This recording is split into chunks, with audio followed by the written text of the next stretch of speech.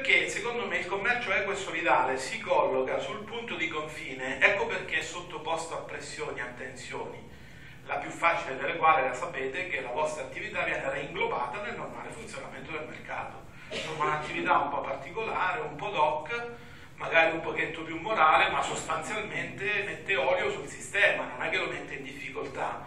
Cioè quella parola alternativa, un approccio alternativo salta subito se la pressione non viene affrontata con coscienza critica, appunto con momenti in cui non solo si fanno modifiche di statuto, di aggiornamento tecnico, ma si vede anche dove stiamo andando, qual è la prospettiva, qual è l'attività di formazione, qual è l'impatto politico della nostra attività, no? E questo è fondamentale.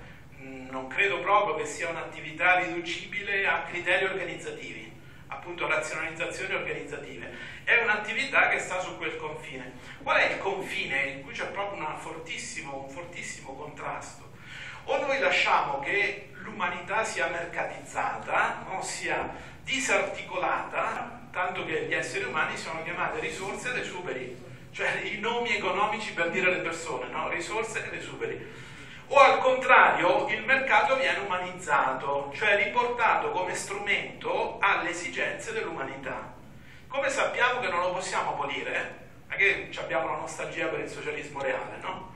Modello economico adeguato in realtà non c'è nel passato, dobbiamo guardare avanti, dobbiamo generarlo. Non è che il modello medievale, il modello comunista, il modello del primo capitalismo, non c'è un modello adeguato. Un vero ordine di convivenza, una vera democrazia economica non l'abbiamo mai conosciuta stiamo balbettando degli esperimenti che chissà quanti anni metteranno.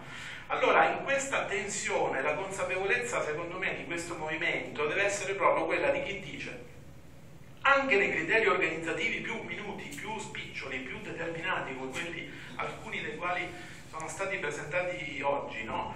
dobbiamo sempre stare attenti, da una parte sia verificare proprio la concretezza, la fedeltà operativa no? di quello che si fa, e quindi bene dall'altra capite anche se psicologicamente la visibilità, la misurabilità, la quantificabilità ci rassicurano, io caspita sono arrivato al 60% che ho fatto questo, capite che non è solo quello il criterio.